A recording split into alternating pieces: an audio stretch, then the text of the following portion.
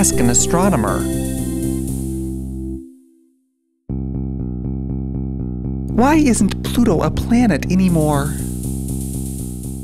When we ask the question of what is and isn't a planet, we're really just talking about how we define the word planet. In ancient times, we didn't really need a definition. Astronomers noticed five star-like objects, Mercury, Venus, Mars, Jupiter, and Saturn, that didn't move around with the other stars but seemed to wander through the sky. The word planet comes from an ancient Greek word that meant wanderer. Eventually, we figured out that the Earth is a planet too, orbiting around the Sun just like the others. And that was pretty much it for the solar system until the age of telescopes.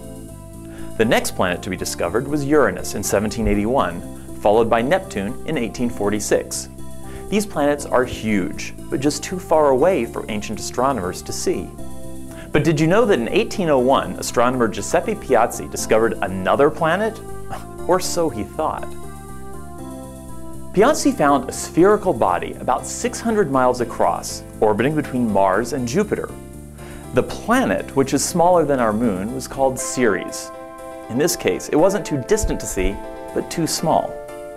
The problem, however, was that Ceres had buddies, lots of them. The very next year, a smaller object named Pallas was discovered, and two years after that, another named Juno. We now know about thousands of similar bodies. Instead of adding thousands of new planets to the solar system, astronomers decided it made more sense to group these objects together. They named a new class of objects, asteroids, and Ceres got demoted Something similar has just happened to Pluto. Astronomer Clyde Tombaugh stumbled across Pluto in 1930, but since then, its status as a planet has been called into question too. First of all, Pluto's orbit is strange, wildly offset from the other planets, and even intersecting the orbit of Neptune. Also, it turns out that Pluto isn't bigger than the Earth, as Tombaugh initially thought. Instead, it's got a huge moon nearby. In fact, some people called it a binary planet or a double planet. And, just like with Ceres, astronomers discovered that Pluto isn't alone. Beginning in the early 1990s, they started finding other objects similar to Pluto. Some, like Quaoar and Sedna, were almost as big.